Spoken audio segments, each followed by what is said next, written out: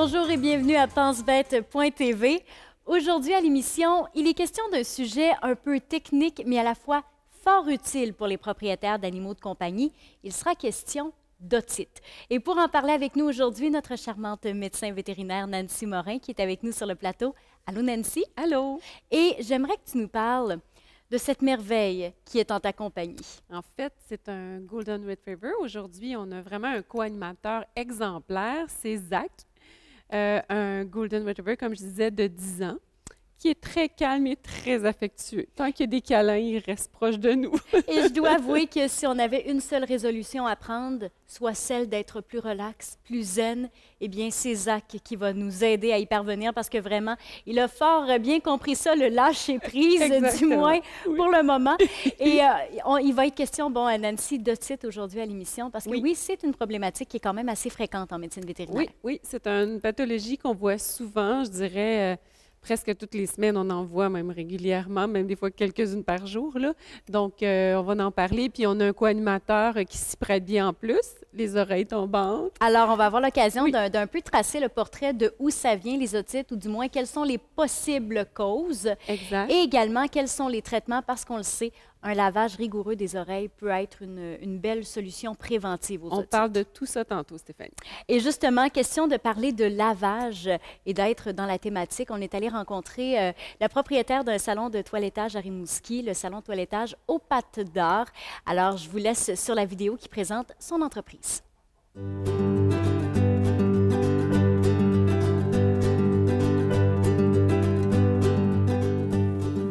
Aujourd'hui, on visite le salon de toilettage au Pas d'Or, une entreprise nouvellement établie à Rimouski. C'est l'équivalent d'une journée au spa, mais pour tout.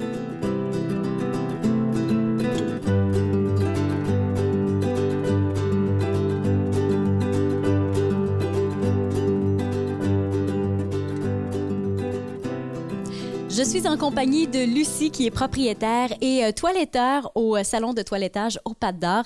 Bonjour Lucie. Bonjour. J'aimerais d'abord que vous nous parliez un peu de votre entreprise, de la mission de celle-ci et surtout d'où vous est venue l'idée. Bien, ça fait quelques années que j'avais envie d'ouvrir mon salon. Moi, ça fait cinq ans que je suis dans le domaine. Ça fait un an que j'ai ouvert mon salon ici. J'étais à mon compte d'un autre salon de toilettage. Euh, moi, ce que j'aimais beaucoup euh, de l'espace ici, c'était vraiment que le chien soit bien. C'est plus qu'un salon de toilettage, finalement, c'est aussi une philosophie, votre entreprise. Oui, exactement. D'un sens, ici, euh, les chiens ne sont pas nécessairement en cage. Oui, ils peuvent être en cage s'ils sont agressifs, mais souvent ils sont lousses parce que les chiens entre eux autres, ils, ont un très bon comportement. Et justement, vous en parliez là, du comportement, de l'agressivité. De quelle manière est-ce qu'on travaille un, un animal qui n'est pas à l'aise, un animal qui peut être agressif lors de son arrivée au toilettage? Bien, c'est beaucoup positif. Beaucoup, beaucoup, beaucoup. Euh, c'est sûr que le propriétaire peut rester avec si le chien est à l'aise que son propriétaire soit avec. Si on voit qu'à cause de son propriétaire, il développe une anxiété, on va demander au propriétaire de quitter à ce moment-là parce que souvent le chien se. Le propriétaire s'en va, fait que tout d'un coup, on devient son meilleur ami après parce qu'on est comme euh, sa porte de sortie. Fait que d'un sens, on le fait rentrer, on le manipule doucement, on l'approche, on peut même mettre des gâteries, des jouets pour l'approcher.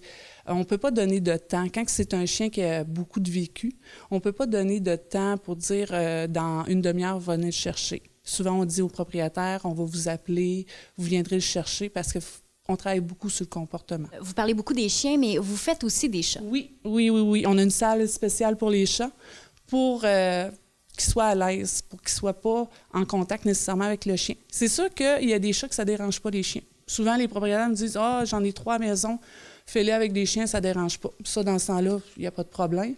Mais souvent, le chat n'aime pas nécessairement les chiens, fait qu'il va être dans une salle à part où qu'on va travailler avec le, le, chat. Puis encore là, on va travailler aussi sur le comportement du chat. Les chats détestent se faire tenir trop longtemps. Fait qu'il faut vraiment travailler en douceur avec un chat. Fait que c'est tout le temps le comportement, c'est tout le temps la douceur, c'est tout le temps positif.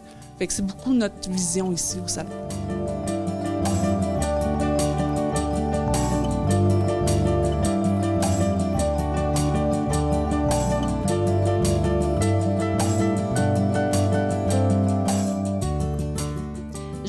En compagnie de Mélissa qui est toiletteur au salon au Pas d'Or. Mélissa, j'aimerais que tu nous parles d'un toilettage type, donc dès la prise en charge du client jusqu'à sa sortie du salon. Et quand le client arrive, la première chose, c'est on va, les, cho- on va remplir une fiche client. Puis après, on va demander l'information sur l'animal, l'âge, le poids, euh, s'il y a des problèmes de peau, s'il y a des allergies. Euh, ensuite, si c'est la première fois au toilettage, euh, si qui est stressé, si c'est un chien, en tout cas, assez calme. Donc, on le fait entrer dans la salle ici. Oui, on va le faire rentrer dans la salle ici. Mais moi, nous, ce qu'on va faire avant, on va faire une première approche à l'entrée avec l'animal pour voir euh, comment est-ce qu'il va réagir avec nous. Ensuite, on va le faire rentrer dans le salon de toilettage ici pour le laisser à l'aise un peu dans le...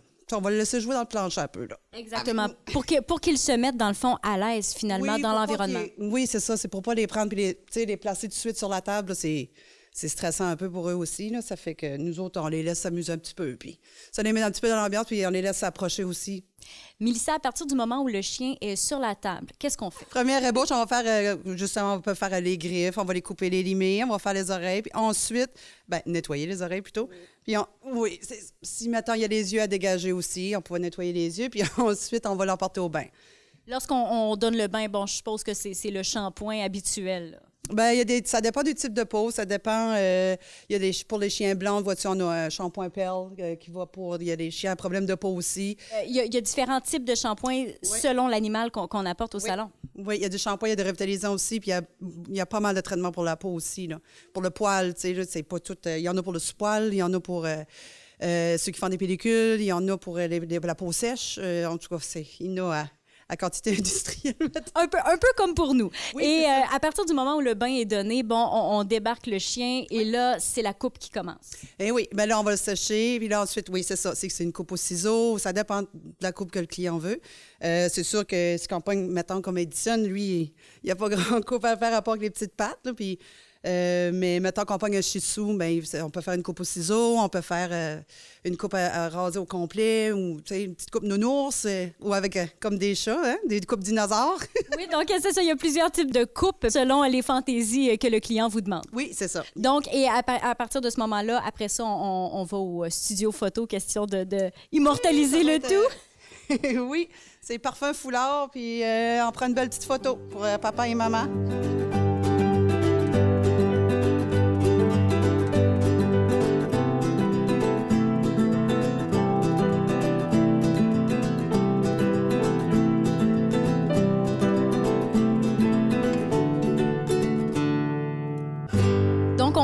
Euh, Lucie, question de parler d'équipement, parce qu'au salon toilettage euh, au Pas d'Or, on a des équipements qui sont euh, quand même spécialisés. Parlez-nous d'abord de, la table que vous utilisez. Bien, on a différentes tables ici, mais on a des tables hydrauliques puis des tables électriques. La table électrique, elle descend à, je pourrais vous dire, vous le montrer, à 3-4 pouces du sol pour que, ça, que les vieux chiens, que les chiens moins habiles, les chiens peureux, pensent que c'est juste une petite marche. Puis la table électrique, elle monte à une douceur vraiment, euh, ils se rendent même pas compte qu'ils sont sur une table. Fait que ça aide beaucoup pour le toilettage que des tables qui, euh, faut les prendre dans nos bras, les embarquer, tout ça. Euh, on a des bains pour les gros chiens, puis on a un bain pour des plus petits chiens. Lorsqu'on parle de, de bain pour les gros chiens, c'est qu'ils sont capables d'embarquer seuls? Oui, exactement. Je vous dirais, 80-90% du temps, les chiens vont rentrer tout seuls dans le bain parce que pour eux, c'est des petites marches de patio, fait qu'ils rentrent et embarquent dessus sans aucun problème.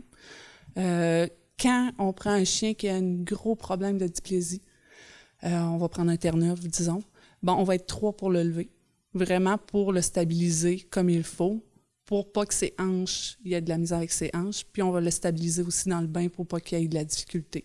J'aimerais qu'on revienne sur le bain parce qu'il y, a- il y a quand même quelque chose qui vous démarque. Euh, le chien peut vivre une expérience massage tout en, en vous visitant. Oui, exactement. On a un hydromasseur. Ça, c'est vraiment spécifique euh, pour aller laver le chien vraiment en profondeur. Mais aussi, ça fait un massage au chien. Fait que souvent, les chiens s'assoient puis ils font comme, pff, on se laisse aller. Surtout que la majorité des propriétaires disent, euh, je gratte les fesses de mon chien puis il capote. Euh, on a aussi euh, les chassoirs sur pied qui font pas de bruit puis qui font, euh, qui fait comme si ça serait de l'air extérieur. Fait que le chien, souvent, ça le dérange pas. Alors, lorsque notre animal arrive ici, euh, on sait qu'il va avoir vraiment un, un traitement qui va être adapté à lui, à sa race. Oui, exactement. Merci. Fait plaisir.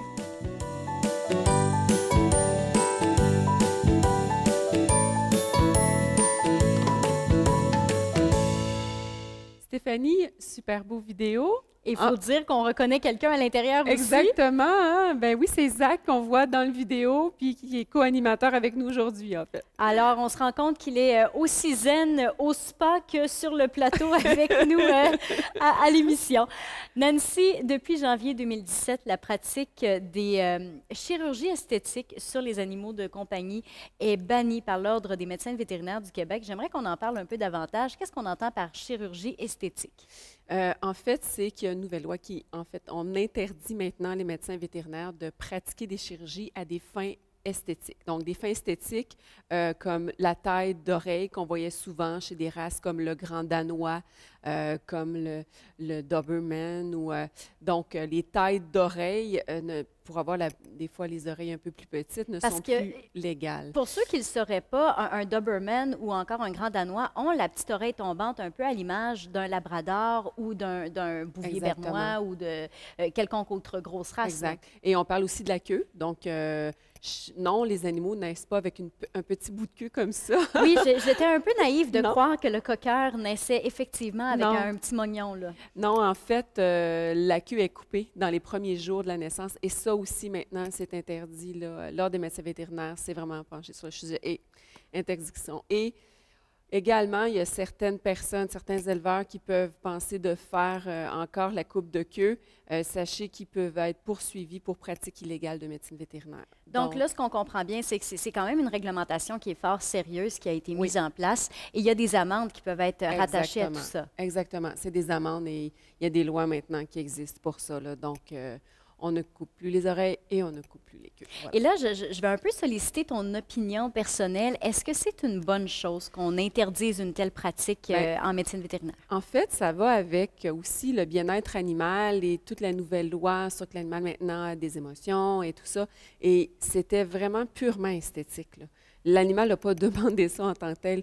Fait que oui, je suis d'accord. Moi, j'ai jamais pratiqué la taille d'oreille, donc euh, euh, moi, je suis d'accord avec ça vraiment. Mais attention à des fins esthétiques. On peut couper encore une queue pour des fins médicales. Une queue qui est abîmée, qui était cassée, euh, une oreille qui est blessée. On peut encore tailler une oreille ou couper une queue, mais à des fins médicales et non à des fins chirurgicales. Donc, il y a vraiment une ligne qui est, euh, qui est tracée entre, euh, entre ces deux concepts-là. Depuis janvier 2017. Également, on poursuit encore dans cette euh, lignée de, de parler d'oreilles aujourd'hui, parce que c'est vraiment la petite thématique euh, qu'on a, euh, qu'on a réservée pour vous, avec notre découverte. Et on y va à l'instant.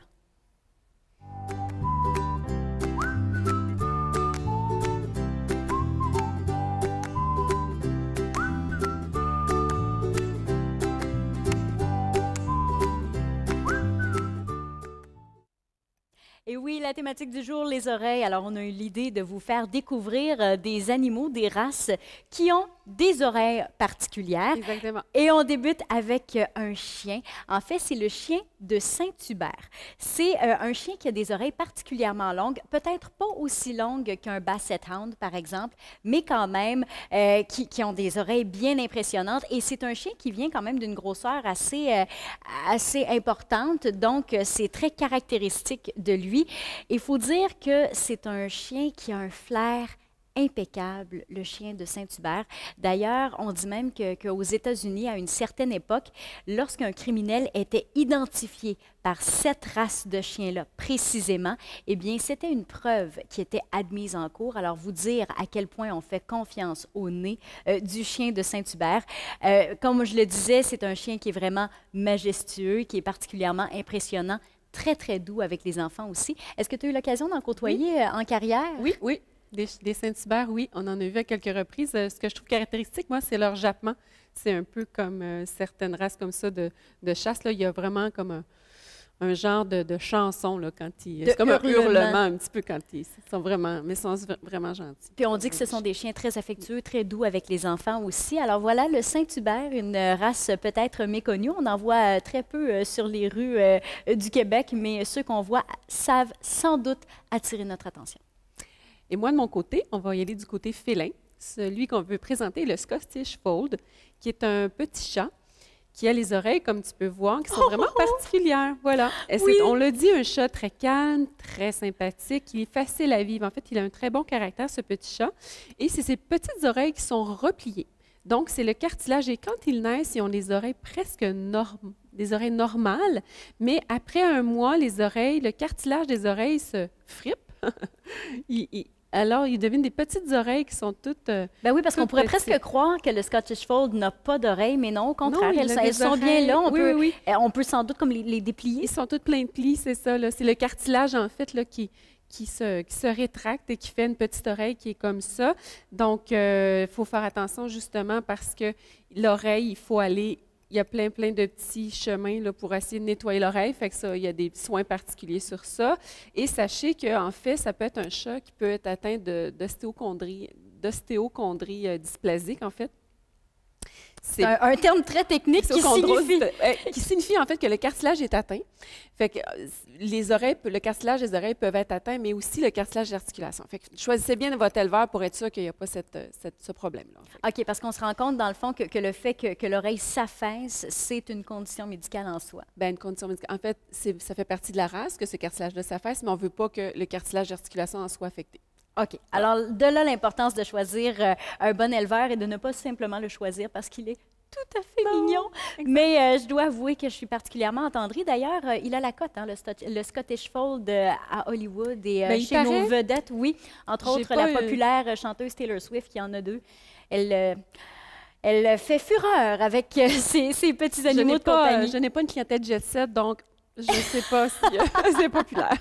Mais est-ce que tu en as déjà eu à la clinique, oui, oui, oui. Nancy? Alors euh, voilà, donc c'était la portion découverte de l'émission. Maintenant, euh, rendons-nous plutôt euh, à l'adoption parce que la Société de protection des animaux du littoral a des chats à l'adoption et on vous les présente à l'instant.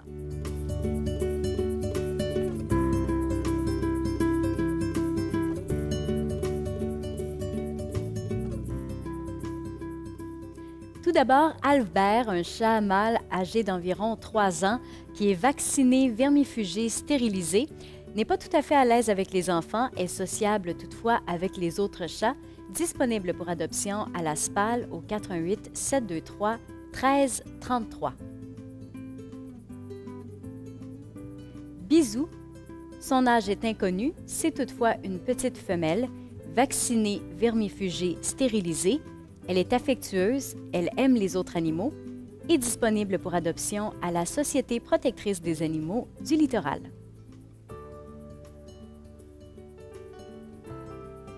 Délicat, c'est un mâle d'âge inconnu.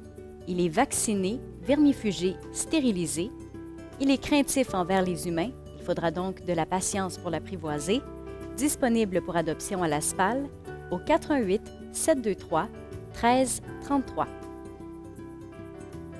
Émile, un chat mâle âgé d'environ deux ans et demi, vacciné, vermifugé, stérilisé, a été sauvé de l'euthanasie. C'est un chat calme et, affectueux, disponible pour adoption à la SPAL au 418 723 13 33. Frimousse, un chat mâle âgé d'environ deux ans, vacciné, vermifugé, stérilisé. Il est gourmand, affectueux, aime se percher en hauteur pour surveiller. Disponible pour adoption à la Société protectrice des animaux du littoral.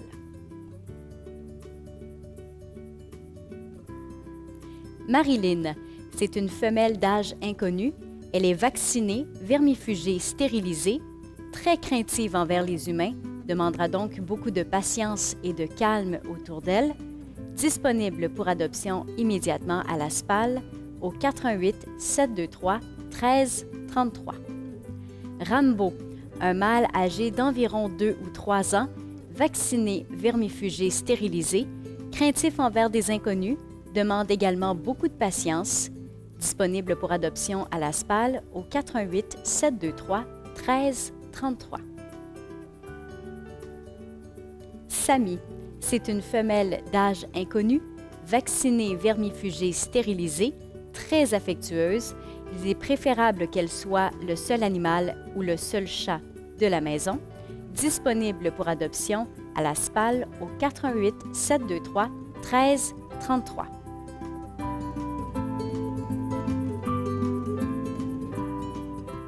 Donc, le voici arrivé le moment que vous attendez depuis le début de l'émission, qu'on vous en parle. Jason otite, Nancy.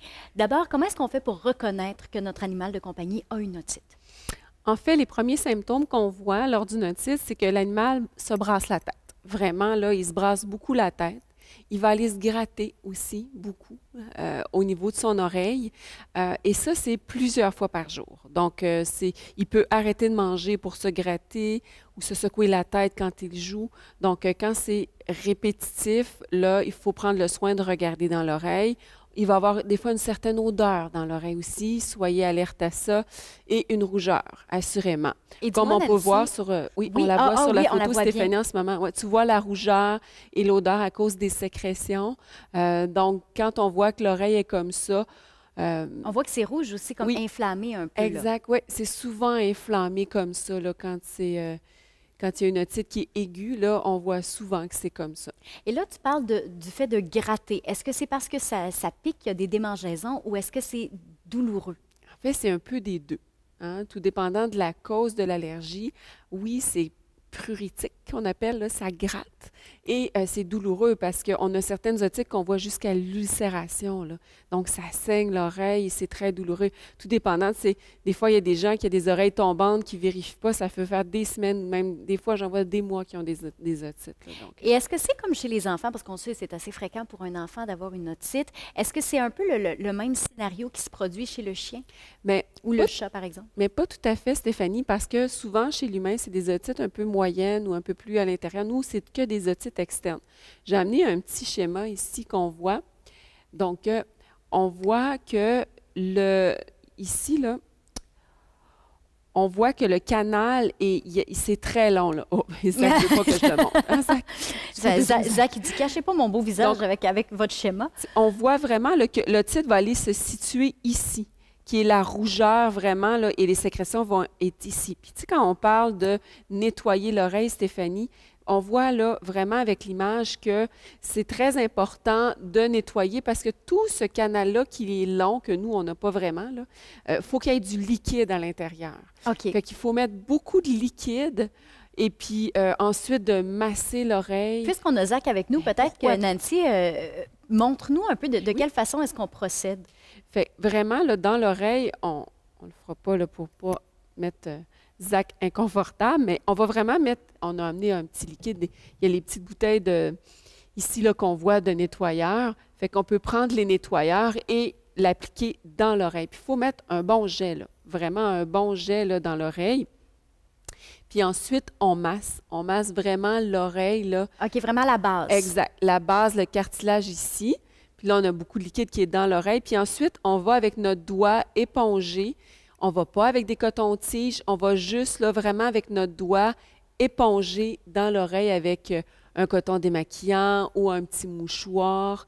Est-ce qu'il y a un risque d'aller atteindre le tympan? ben, c'est très difficile, Stéphanie, à moins que quelqu'un aille avec un coton-tige, parce que comme j'ai montré tantôt sur le schéma, il y a un grand canal vertical et horizontal. Avant de se rendre. Exactement. Et là, je t'entendais parler euh, en début d'entretien de- du fait que, bon, ça pouvait être fongique ou encore bactérien. Moi, fongique, euh, dans ma tête, ça, ça sonne euh, crème qu'on peut acheter à la pharmacie. Non? dans, dans un petit tube rose. Mais pour vrai, euh, il y en a qui pourraient peut-être avoir l'idée d'aller chercher une crème en vente libre pour essayer de l'appliquer dans l'oreille. Je suis pas mal certaine que tu vas me dire que c'est une mauvaise idée. Effectivement, Stéphanie. Non, c'est vraiment une mauvaise idée. Premièrement, quand on a un titre comme ça euh, euh, se, se présente, il faut aller chez le vétérinaire. Nous, on va faire une cytologie de l'oreille. Donc, euh, ce qu'on appelle une cytologie, c'est aller voir à l'intérieur, est-ce que c'est des bactéries, est-ce que c'est euh, des champignons. Parfois même, on fait des cultures, c'est-à-dire qu'on va aller chercher la bactérie qui est dans l'oreille en culture dans un laboratoire pour savoir quel médicament mettre. Et les médicaments vétérinaires qui s'appliquent dans l'oreille ont été il y a eu des études cliniques et ce n'est pas autotoxique. Tout produit de pharmacie pour humain qu'on met dans l'oreille pourrait être potentiellement autotoxique. Donc, ce qu'on veut dire, c'est vraiment pour l'oreille, là, ça serait néfaste. là. OK, OK. Et là, justement, des produits vétérinaires, tu en as apporté quand même quelques-uns sur la table. Explique-nous un peu à quoi ils peuvent servir. Ben, en fait, on- les otites, pour la prévention de l'otite, la première chose à faire, ce serait de nettoyer régulièrement les otites, les, les oreilles de notre chien. Donc, euh, on a des produits comme ça ici qui existent. Ça, c'est vraiment des nettoyeurs, autant pour chien, pour chat. Ensuite, quand l'otite est vraiment installée, ben on a des petits produits comme ça, qui sont des produits pour qu'on peut mettre dans l'oreille des médicaments. Tout dépendant de ce que le vétérinaire a vu dans son oreille, va décider de mettre il y a d'autres médicaments aussi qui existent, mais c'est vraiment des gouttes appliquées dans l'oreille et non euh, des pilules à donner là, euh, par la bouche. C'est vraiment un traitement local dans l'oreille.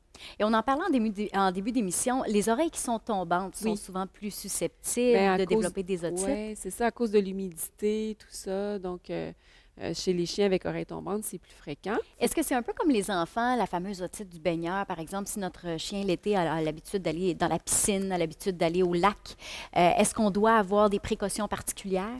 Bien, en fait, l'humidité qui peut rentrer quand on va dans un, un, lac, une rivière ou quelque chose comme ça, ce qu'il faut faire à la fin de la journée de baignade, il faut nettoyer. Donc, euh, les nettoyeurs sont souvent base huileuse, fait que ça va enlever là, tous les résidus, l'humidité qu'il pourrait avoir dans l'oreille. Donc, il faut nettoyer. Et je suppose que la clé est la prévention dans tous les cas. Oui. Puis on n'a pas parlé de nos amis chats également. Euh, eux ont plus des otites parfois euh, parasitaires, donc des mythes d'oreilles. Ah oui, oui, oui. Oui, ouais, des petites mythes d'oreilles. Ça, c'est souvent le noir hein, à l'intérieur de l'oreille. Exactement. Ça ressemble à, un grain de café là, qui serait dans l'oreille. Ça, c'est contagieux. Les autres otites ne sont pas nécessairement contagieuses entre les chiens ni pour les humains. Mais par contre, euh, les, chez les chats, les mythes sont contagieuses. donc, est-ce que c'est moins ou plus fréquent une otite chez un chat? Parce que rares sont les chats avec les oreilles tombantes? Oui, c'est vraiment moins fréquent. Surtout les chats qui vont à l'extérieur, les chats de ferme, euh, ou des fois qui viennent de refuge, ou euh, c'est plus fréquent quand il y a une proximité avec beaucoup d'autres chats. Oui, puisqu'il y a de la contagion. Par contre, euh, ce type de là doit être relativement facile à, oui, à, ça se traite très bien. À traiter. Très, très bien. Oui, ça se traite très bien. Donc, on, en connaît davantage maintenant sur les otites. Et dis-moi, Nancy, en terminant, est-ce qu'il y a d'autres précautions qu'on peut prendre avec notre animal ou simplement le nettoyage avec les oreilles, c'est suffisant? Et de, de, surtout aller consulter notre médecin vétérinaire si on, a quelques doutes que ce soit? Juste de prendre l'habitude de regarder l'oreille. Hein? Ce n'est pas quelque chose qu'on fait souvent, mais prenez la peine de temps en temps, en faisant des câlins, de regarder l'oreille, puis un bon nettoyeur, oui, c'est la meilleure prévention. Alors, avec ça, on est euh, tout équipé pour euh, affronter les otites. Merci beaucoup, Nancy, d'avoir été avec nous. Merci à vous à la maison d'avoir été avec nous. On vous invite à poursuivre la conversation sur notre page Facebook pensebête.tv. Les émissions sont également disponibles euh, en rediffusion au pensebête.tv. Merci, à la prochaine.